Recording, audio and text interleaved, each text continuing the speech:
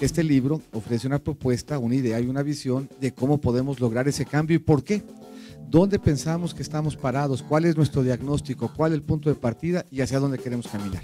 El candidato presidencial de la coalición Todos por México, José Antonio Mir, reconoció que México es un país profundamente desigual, por lo que en su libro expone una estrategia de gobierno en caso de ganar la presidencia.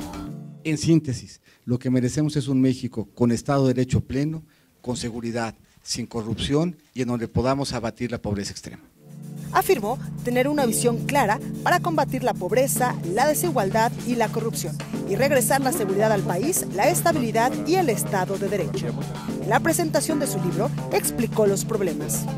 Tenemos que cortar el cordón umbilical entre el Ejecutivo y el Ministerio Público. Tenemos que darle autonomía a los ministerios públicos y que se acabe el Ministerio Público Autónomo. Pero también cómo enfrentarlos y solucionarlos. El segundo, más bien, y que tengamos un Ministerio Público autónomo y que se acabe el Ministerio Público de consigna. El segundo, y, muy importante, tenemos que pasar de la declaración patrimonial a la auditoría de congruencia patrimonial. Tercero, tenemos que tener leyes que nos permitan hacer mucho más sencillo recuperar lo robado. Y cuarto, tenemos que tener gobiernos abiertos y transparentes en donde todo el actuar de gobierno reflejado en un contrato se pueda consultar. Las ganancias del libro de Editorial Grijalvo serán donadas a dos fundaciones, Casa de la Amistad para la atención a niños con cáncer y Fraternidad sin Fronteras para personas sin hogar, con imágenes de Fernando Dávila para el financiero Bloomberg, Blanca Becerril.